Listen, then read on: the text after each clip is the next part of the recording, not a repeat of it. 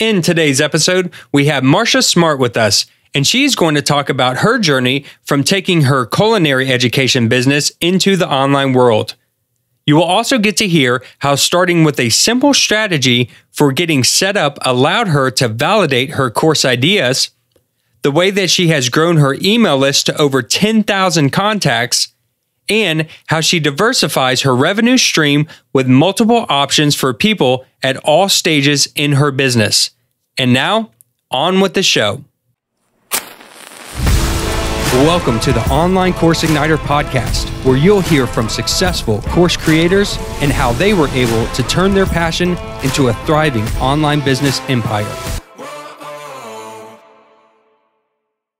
Hey everyone, thanks for checking out the podcast today. We have Marcia Smart from Smart in the Kitchen, who is a culinary instructor and a cooking writer and an entrepreneur and just a plethora of titles of um, just awesomeness that she has uh, created along the way in her journey. And I'm very excited to have you here today, Marcia. How are you doing? Very good. Happy to be here. Yes, definitely. I'm excited for you to be here too. I can't wait to hear your story and uh, just talk about the the courses and the passions that you love to talk about, and just kind of hear about how you got into this world and how you've created courses and has have built revenue and income from online business. Um, before we get into that, if you wouldn't mind just taking a moment and just give us a little bit of background about yourself and what you were doing before you got into the online space, and then how did you get to the online space?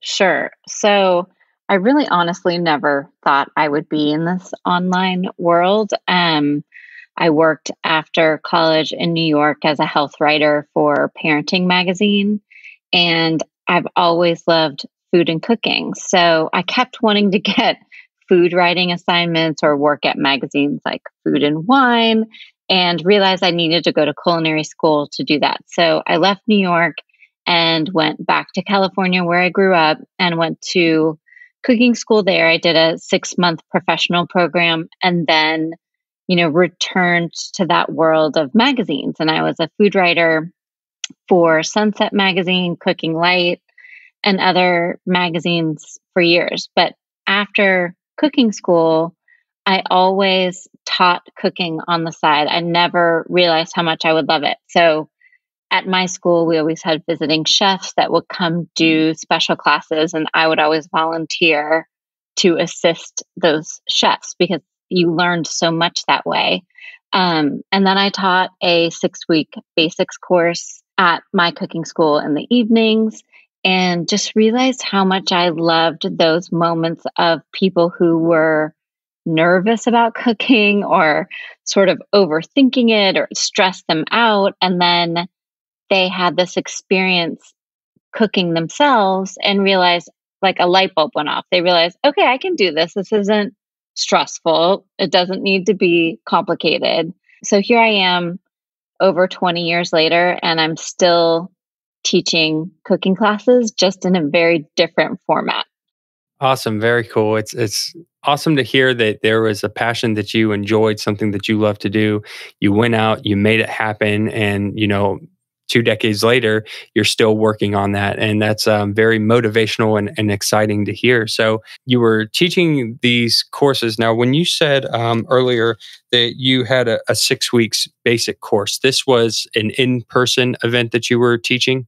Yes. So, that was in person. And for years, I've taught in person cooking classes. And really, in um, 2019, it was kind of the height of my in person business. I taught in person cooking retreats, in person cooking classes several times a week for groups of friends, for birthday parties, for corporate groups.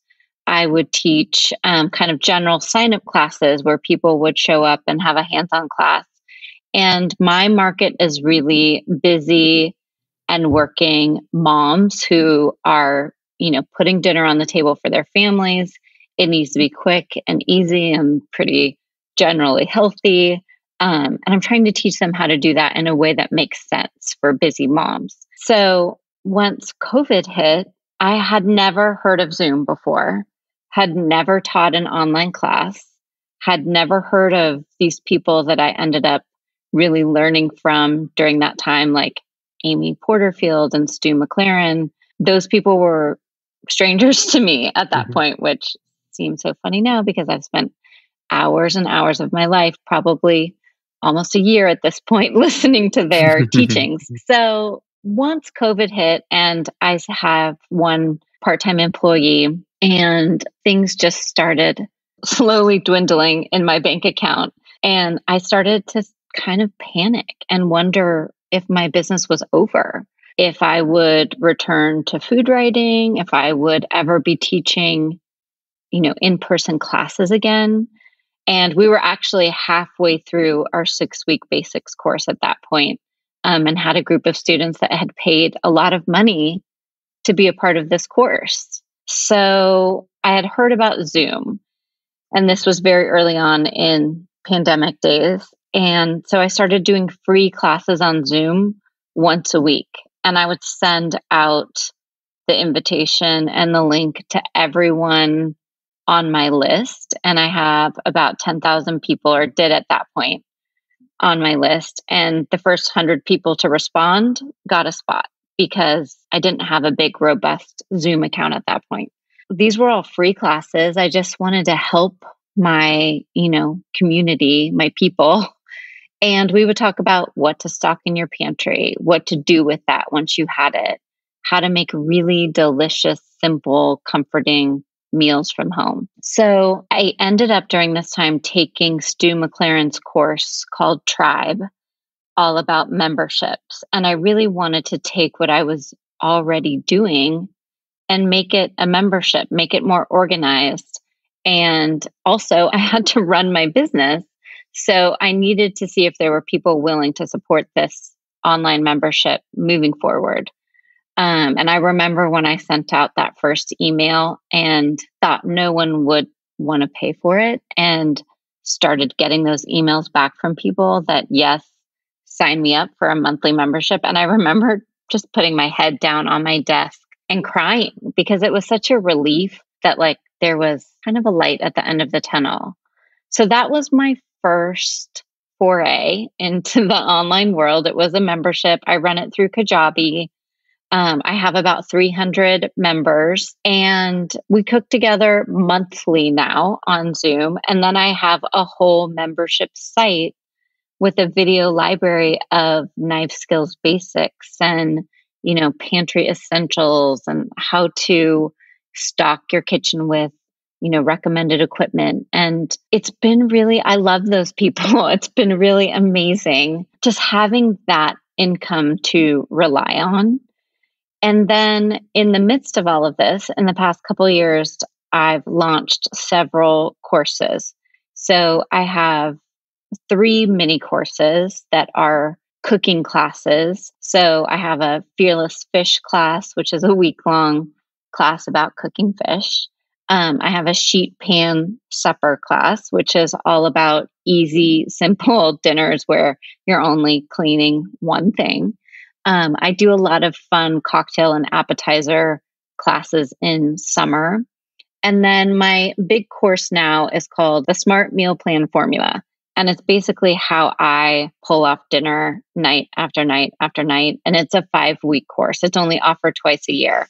And then when that course is over, I really invite those students to stay with me in my membership because it's it's always open for new members, but the people who get the most out of it are the people who've already sort of cooked with me in some capacity because they know that they're going to learn. They know they're going to find out about recipes that they will make again and again and again.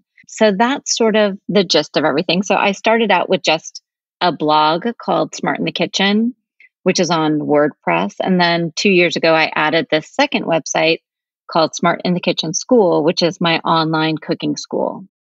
Okay, awesome. Yeah, this is a uh, a really cool trajectory that you had, and um, I'm going to pick apart some of these pieces and go over them with you because I think you went over a couple things that are really intriguing. First of all, the niche. Um, I want to say that this is a great niche because I know from hearing my wife talk about cooking for the family that finding, you know, easy to prep and create uh, healthy meals uh, can be very uh, time consuming and stressful, um, especially the day in and day out of having to cook for the family and figure out what's everyone going to eat and what are we going to eat differently. So um, this is really cool. I enjoy this. So I'm going to make sure when I get off this podcast, I, I go to your website and send it right to her and say, you need to go sign up for this class. You'll love it. so the first thing that I noticed that I thought was really cool is that you um, started off kind of simply. Um, a lot of people, and and you know, I I talked to hundreds of course creators, and I've had dozens on the podcast, and I know from experience myself and from others that a lot of people will have an idea and they'll go straight into the course creation process. They'll start, you know, mm-hmm. getting cameras and lights and and all these different things, and the editing and putting together the curriculum and um, trying to put all this stuff together. But what I noticed about you that I thought was great, and, and what I recommend for most people is you kind of started a little more simply. You started with the Zoom classes, and you said, let's try to do some free Zoom classes, which is kind of a way of testing to see if there would be a market for this online. Would you agree with that? Absolutely. And I can tell you that I learned so much from that. Like I looked back at recently at one of those first classes I taught on Zoom, which was a you know pasta class. We made cacio pepe and we made um, another really simple pantry pasta. And I was cooking behind me at my stove using my computer as the camera in front of me. And I had no idea that every time I turned around, the audio was totally cutting out and people had no idea what I was saying. so it, I learned so much from that hands on experience. And also, I think people were much more forgiving because of that. I was trying to provide something, I was sending them so many recipes, bonus recipes, things that might help them so they were all really appreciative of me sort of not knowing what I was doing initially. And I've just realized that there's nothing you can't Google and ask a question. And I've I've learned a lot that way. I signed up for anything I could that was free at first, just kind of trying to learn about teaching online and cameras and lighting. But I really didn't want to spend a lot of money investing in equipment, like you said, because I kept thinking this was temporary. So I can tell you now, this part of my business will never go away because, for instance, last night I taught um, in September and January, I do these kitchen reboot seminars. So I'm trying to teach people what I really do in my kitchen to organize and refresh it for a new school year or for, you know, your New Year's resolution. So in one of my kitchen reboot seminars, I asked everyone where they were tuning in from. And I was almost in tears looking at all the responses. It was New York, Boston, DC, like rural Texas, California, Arkansas. People, I had the chills looking at these responses popping up because for so long I kept sort of stewing over the fact that I wanted to reach more people. I would have friends reach out to me and say, Can you come to Boston and teach a cooking class? Can you come to New York? Because they wanted to do with their friends what I was teaching here in Houston, where I live. And it was just, I have three kids. It's not it wasn't feasible for me to be traveling all over the country teaching cooking classes. Um, the return on that investment was not there at that time. um, so, teaching online is a way for me to reach a lot more people, but it's also a very efficient use of my time because in an hour, I can teach a cooking class with three to four quick and easy recipes and people always say, like, we're going to be here for forever. I can't believe we're going to get through all of these recipes. And then they realize how easy they are because we're getting through them so quickly.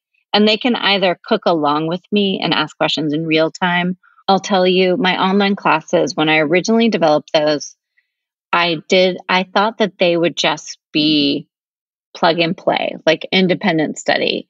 You, that people would watch them on their own. But I've realized that there's always some component of either community or outreach that's important for making your students successful in the course. So whether it's a private Facebook group or whether it's Q&A through Kajabi or emails or having like a Zoom kickoff, a couple Zoom check-ins or Q&As. I've realized that those are important to me because I don't want people to feel like I'm just selling this package course and then sink or swim. You're on your own. Either watch it or don't watch it. I really want them to feel successful because if they are successful in the course, they're much more likely to tell their sister or their mom or their neighbor, like, hey, I took this meal planning course and it totally changed my approach to cooking dinner. And then I might get another student. And I have a ton of word of mouth referrals like that.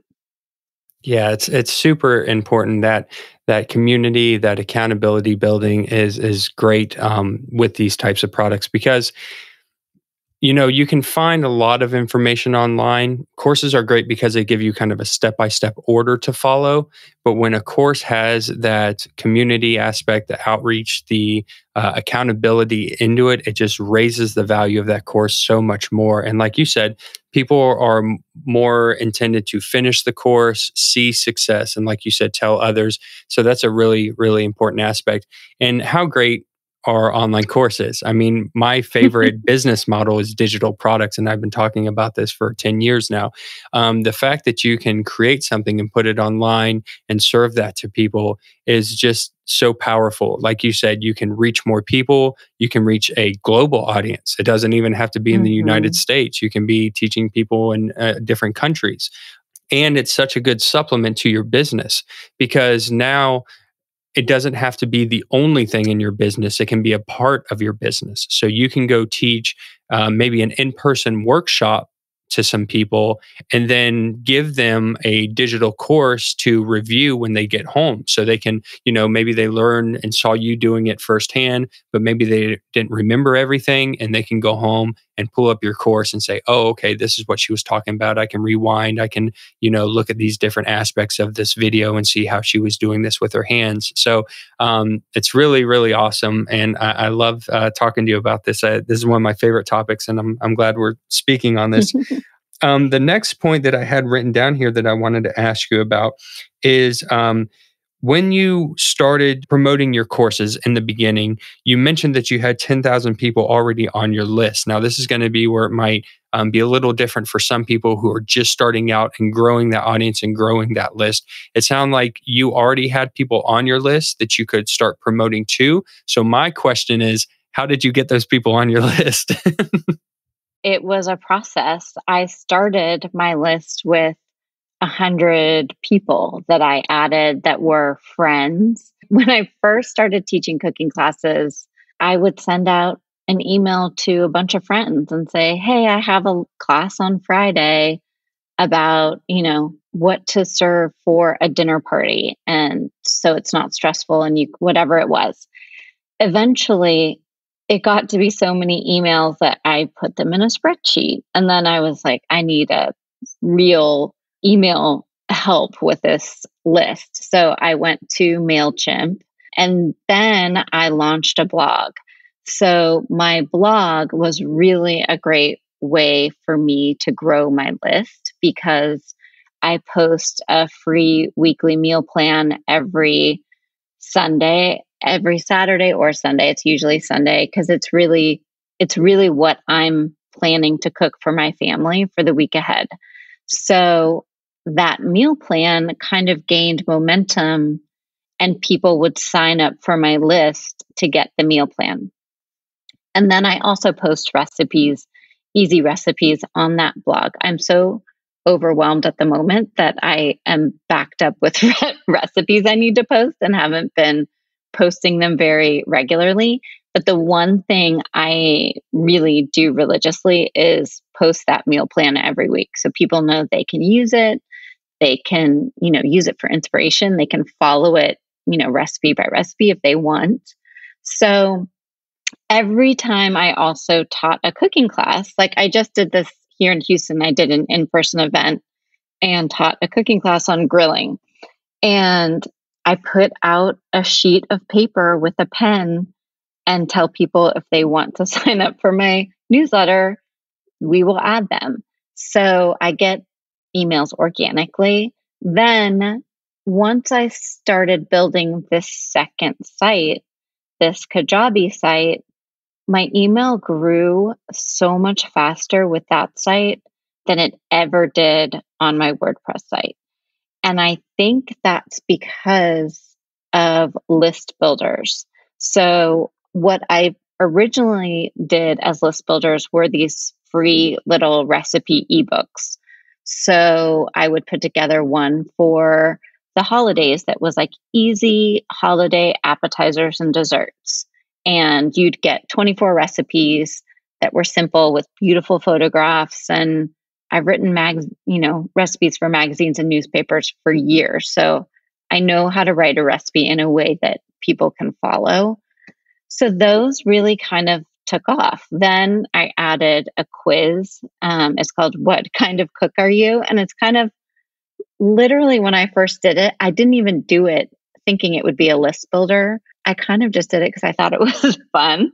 And at the end of the quiz, I direct people to either certain recipes, to my membership, or just to my Kajabi site for free resources. So, between these different list builders and free webinars that I host, so I've only had a Kajabi site for a year. And in that year, it surpassed my WordPress site by, I think, 2000. So I have on my Kajabi site, which was super organic to begin with. Like I just sent an email to all of my MailChimp people and said, Hey, I'm starting this membership. If you would like to sign up to learn more, or if you want to be on the list to hear when it launches. And then I, you know, they added themselves to my list. So I'm really surprised how quickly that Kajabi site has grown. I think that's mostly because I did have a group to begin with that opted in, but also I think the list builders and learning about list building and really paying attention to where your people, like where your ideal audience is spending time and going, you know, meeting them where they're at. Like my, my people, my audience, they don't understand these marketing terms that I've learned in the last year. Like if I called something a list builder, they would be like, "What?" They they're predominantly not well versed in this online digital world. So, like for instance, someone asked me the other day, "What's a digital course?" Because I was selling, you know, this course I had created, and I had to stop for a minute and realize the way I was explaining it wasn't making sense to my audience. So instead of calling it a digital course, I started calling it a five week online class. And that made much more sense to them. um, but anyway, back to list building. It's just, it's constant. My one actual struggle now is I've had this list that I've marketed to and, you know, I've sold to for a long time now. I need to be careful that I'm reaching out and finding new people. Like I'm broadening my reach a little bit. And so that's kind of the next step for me. Are you struggling to create your first online course? Do you have an idea for a course topic but don't know how to get started? It can be hard trying to figure out everything that goes into course creation. How do you outline your course? How do you set up the technology to create the content? How do you publish it so that you can begin helping others and making money immediately? We know it can be difficult for first time course creators. That is why we have designed the Start Your First Course Challenge. Our goal is to help you get that online course published within a couple of weeks. That means that you can get your digital product to market without wasting a bunch of time we will show you how with the easiest methods possible that we have learned and crafted over the years. You'll learn how to choose a topic, outline your course, script what you want to say, and then record the material. After that, you'll discover how to set up the platform and publish it, all with a simple system that's guaranteed to get you results fast. Beat your procrastination by taking action today. Go to startyourfirstcourse.com now to sign up. That's startyourfirstcourse.com. See you in the challenge. Now, I wanted to also ask you about the membership. Um, so from from the free Zoom classes and from your list, you were able to start promoting this membership, and like you said, you had 300 uh, members in this membership. Um, what all does that membership entail? So, what are they getting? And is this a monthly recurring price, or is it a yearly recurring price, or, or what is the structure of that membership? Okay, so it has changed a little bit over time. So when it first launched, I before I had my Kajabi site totally built and knew how to use it, I offered a founding member price to 100 students. I didn't want to take more than 100 students because of my Zoom capability at that point. So the second I got 100 members, I capped it until I could finish this Kajabi site. Originally, I only was charging month to month because I wasn't sure if I was going to continue with the membership. But when I launched Kajabi, I realized I loved the membership. I loved cooking with these people. I was developing real relationships with some of them and, you know, getting to know them. And there are definitely some members naturally that are more involved than others. But once I launched the Kajabi site, I offered a discounted yearly membership and a monthly membership.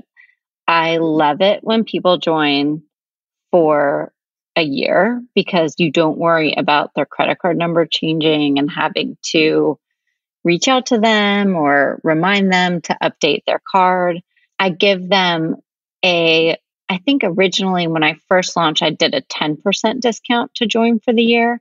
Now I've realized that's so valuable to me that I give them a 20% discount if they join for the year. The benefit to joining month to month for them is they can cancel at any time.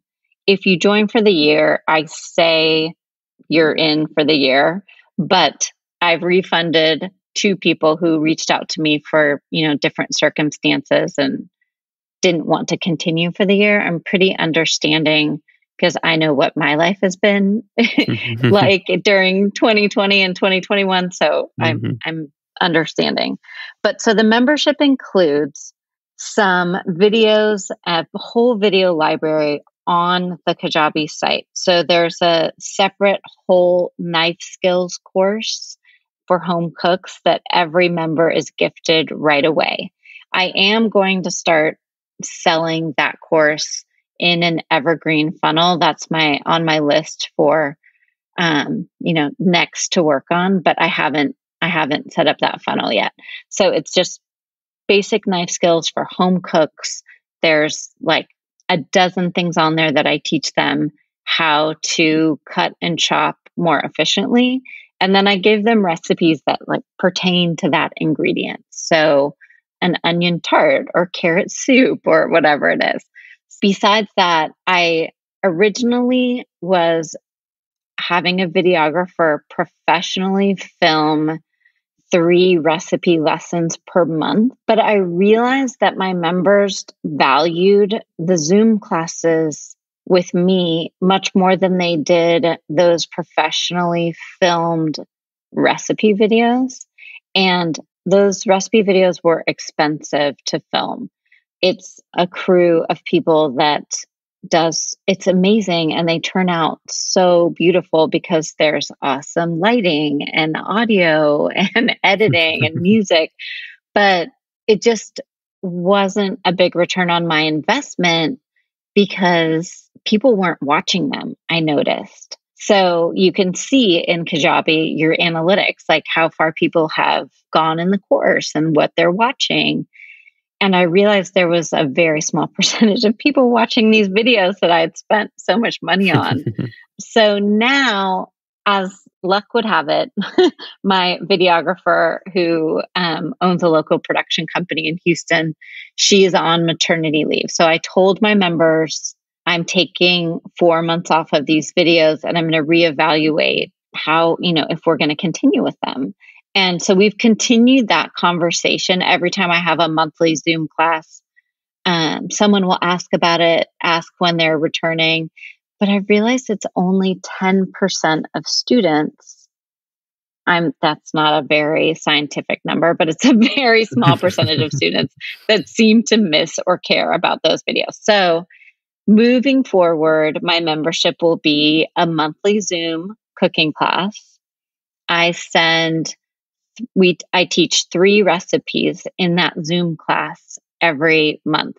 Then I send 3 bonus recipes that are related to whatever we're cooking and talking about. Then I also share with them discounts on any other courses that I teach in my business. So if I'm teaching a one off cooking class that you can sign up for online, my members usually always get a 50% discount on everything I teach. So I try to give them kind of little extras and perks and behind the scenes information on what's going on in my business so they feel included. And then there's also a private Facebook group and community that I might need some help with my Facebook group. it, it, had a bunch of activity early on and it sort of died lately. So we need to, I need to keep the conversation going there. Yeah, I, I think that's just the Facebook algorithm. it just, yeah, it, yeah. it changes like it's just crazy. Sometimes it's going so good, and then other times it's a ghost town. I, I go through it too. Yes. Um, but that's really cool. So it also sounds like okay. So you have your membership, and I just want to make sure that I got this right. And then you mentioned that you have some mini courses like your fish course, your sheet pan course, and etc. So those courses are standalone courses that people can just buy without having to be a member. Yes. So anyone can buy those, and I market them on my WordPress blog. I'll market them on Instagram. I'll market them, you know, through my Kajabi list. And um, usually, what I found works for those courses is I'll do four days in a row. I usually do it at you know midday, lunchtime, Central Time Zone, so around twelve o'clock Central and it's an hour class. And then I share a recording with any student in that class. Then at the end of the week, I send them one last email with all of the recordings in one email, um, all of the recipes again. And then we, you know, I answer any questions by email all the time that people have. And then these are the courses that you were saying earlier, if someone is already a member in the membership side of it, that they would get a discount on? Yes, exactly. Or any of my larger courses. So my meal planning course that, you know, has a VIP level and then it has a watch on your own time, less expensive option that doesn't include Zoom classes, which interestingly enough, only one person joined at that level last time. Everyone else preferred the more expensive Zoom class level. So my members get 50% off of that VIP level and get to come to all the Zoom classes and be a part of it because I want them to feel like my membership's pretty inexpensive. My founding members joined at $20 a month. I'll never raise their the cost of their membership. Then the next sort of time I really pushed membership, I raised the price to $27 a month. And I told those people that I would never raise the price of their membership. It's always open for new members, and I'll get people trickle in slowly. But when I do my next big push, I'm raising it to $29. But I really don't want to go above $30 a month for the membership. I want to keep it as a low cost item to kind of stick around and cook with me on the regular and be able to be a part of my community without a huge financial commitment. Yeah, definitely. I mean, that's, you know, memberships is all about following that churn rate and just hearing you talk about paying attention to your analytics. I'm sure you've got that sorted out of knowing where your price point's going to be, where people might not stay or drop off, and trying to find that sweet spot. But um, I really enjoy your business model because it sounds like you've created multiple streams of revenue. So instead of just relying on a, a, one course or maybe just on the membership, you have kind of different varieties that you can offer different people a yearly subscription, a monthly subscription. You can buy individual courses, you have your five week course. So it sounds like you're diversifying your business model. Um, and I think that that's just brilliant. That was something I learned the hard way during COVID that I had this one revenue stream that was in person cooking classes. And when that went away, my revenue stream went away also. So I've also realized that those in person cooking classes take a lot of blood, sweat, and tears. It's like setup and shopping and making the recipe packets and cleaning up after the course, spending time with people. It's it's a big time and money investment.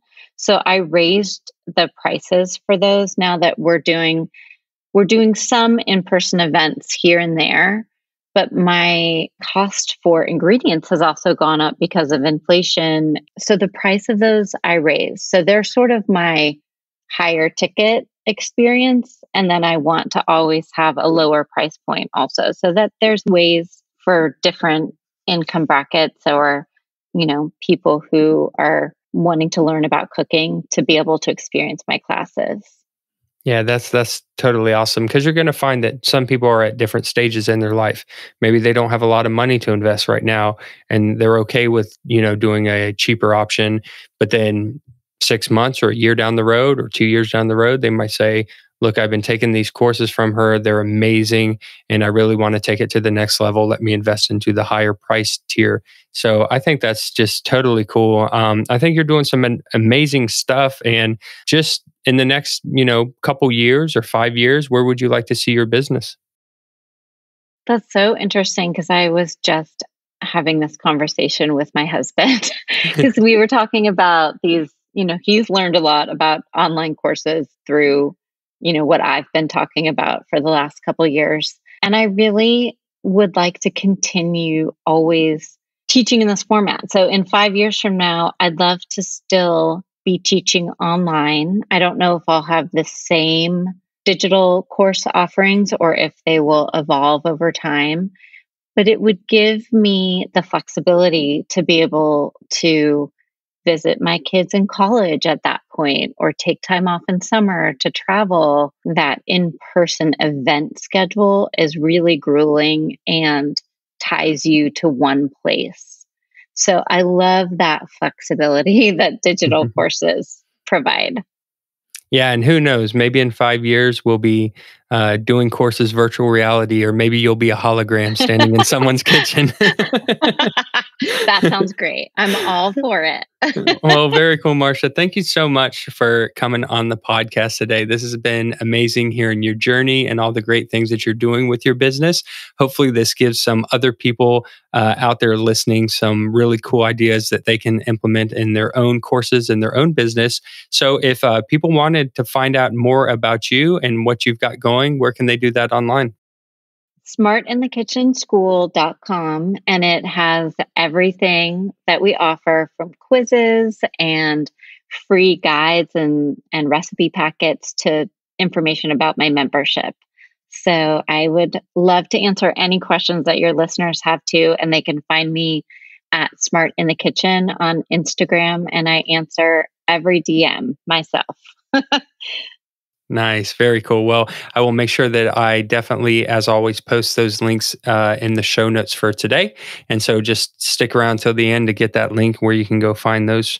And just thank you so much for coming on today. I appreciate your wisdom. And I just hope that you keep having um, that continued success in the future. And yeah, we just, we thank you for being here. Thank you so much for having me. Thank you so much for joining us today, Marcia. You can find out more about her and her business by visiting smartinthekitchen.com, or you can get the show notes of this episode along with links and resources by visiting onlinecourseigniter.com forward slash 61. It's time to go grab some food. See you all next week. Thank you for tuning in to the Online Course Igniter podcast. Make sure you subscribe wherever you're listening so that you don't miss an episode.